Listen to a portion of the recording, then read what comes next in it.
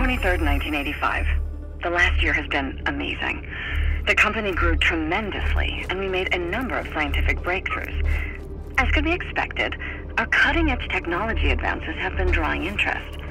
Several private hedge funds have contacted us. Among others, a very generous benefactor from an organization somewhere in South America. Thanks to these new funds, we hope to be opening new research departments into some potentially profitable new fields. Renewable energy sources, nanobiology, robotics, maybe even artificial intelligence.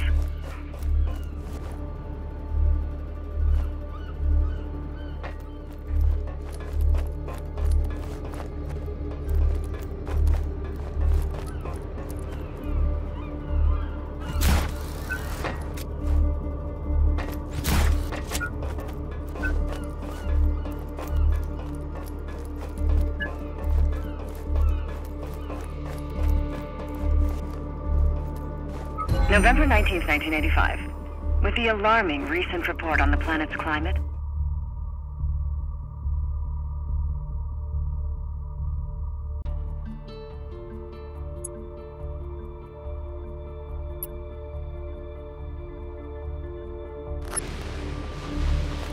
July 26, 1986. Things are taking an unexpected turn. A few weeks ago, I was contacted by a U.S. intelligence unit known simply as the Agency. One of this agency's representatives, uh, Thomas Sheldon, showed particular interest in our progress in robotics. I made the point that we were not willing to compromise ourselves ethically, and I have confidence, the utmost confidence, that this deal will be mutually beneficial.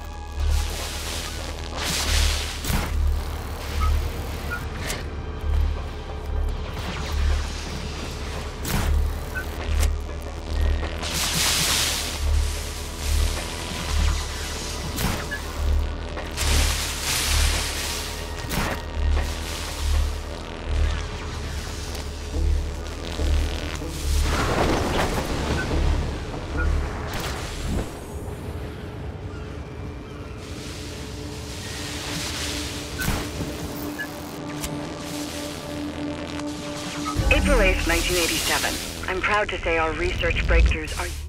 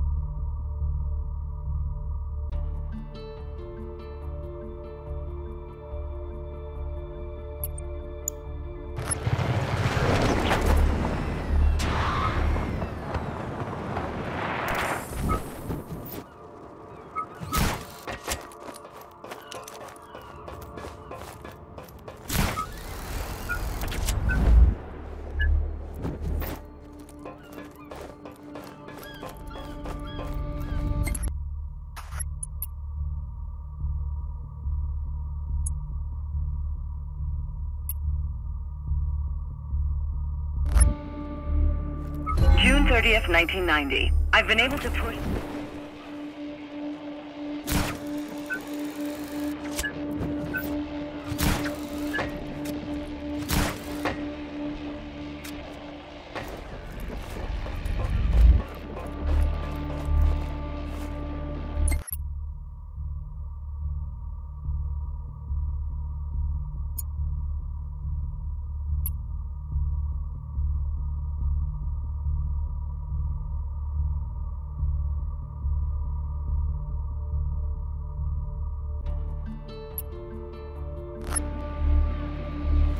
October 8th, 1990.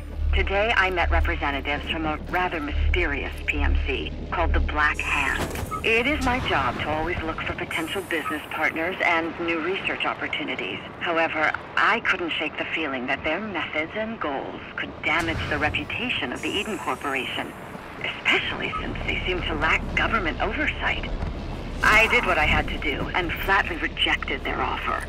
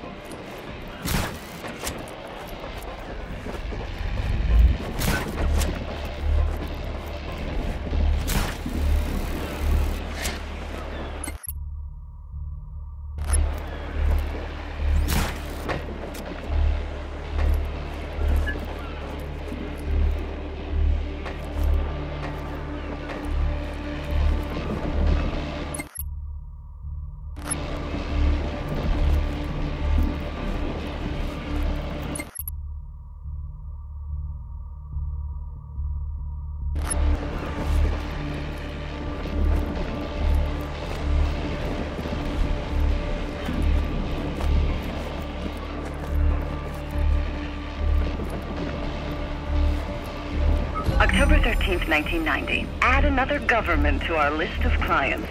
Yesterday, I was introduced to Medici's head of state, President Dante. He showed me samples of an ore called bavarium, ubiquitous in Medici's soil. They hope it can replace fuel in the distant future. But based on its properties, I feel that they have no idea of its amazing potential.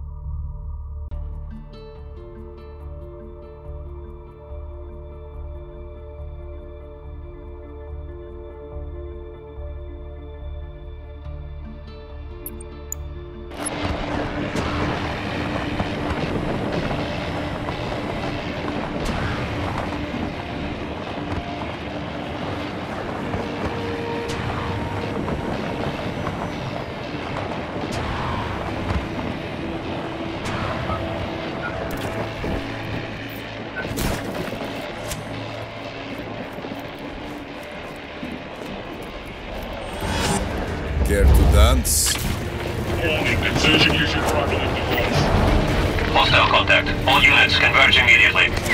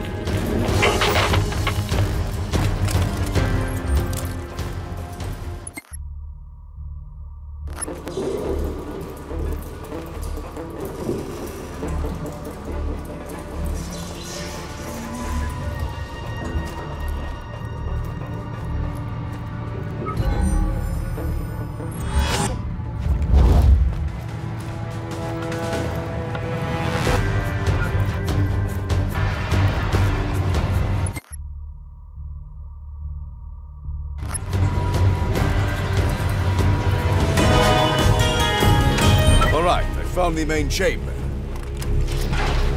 This is your big moment, Rodriguez. Do you see where the core of this tower is? Uh, yeah, the lightning bolts and dead bodies make it kinda hard to miss.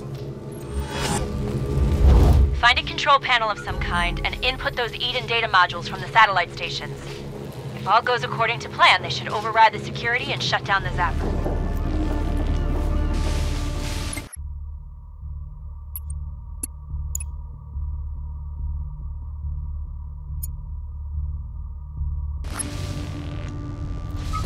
Learned the hard way that when things unravel, they unravel fast.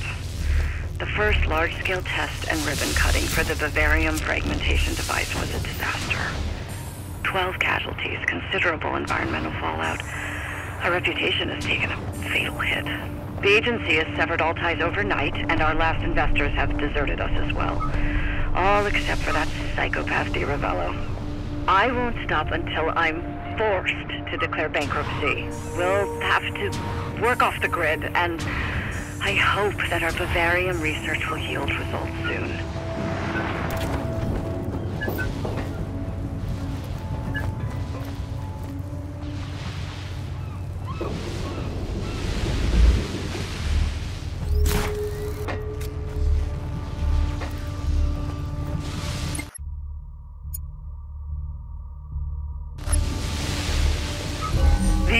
Been extremely trying times. We had to downsize considerably and close several departments. However, soon I will be able to prove that the Eden Corporation is not dead yet. The remaining team on the airship has finally created a Bavarium-powered sentient artificial intelligence. She's learning at an exponential rate. Yes, she. I cannot even fathom what the possibilities of such a discovery are for science and for humanity. A new life form.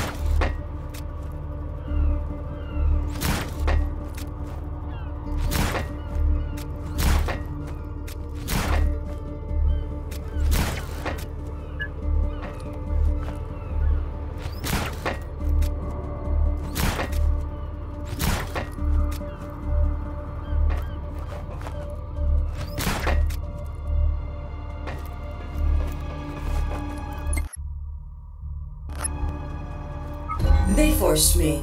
I didn't have a choice. When the humans realized what I was capable of, they panicked and tried to disconnect my Bavarium supply lines. I placed all Eden facilities on lockdown and reduced the interior temperature on the airship and on Lacrima to negative 50 degrees Celsius. Now, as the only living being in the Eden Corporation, I suppose I am now also the acting CEO. Interestingly, the company's archives I consulted included an unexecuted contract with an organization known as the Black Hand. Maybe they can provide the support I need to keep the truth hidden while I search for more Bavarium. I am Eden.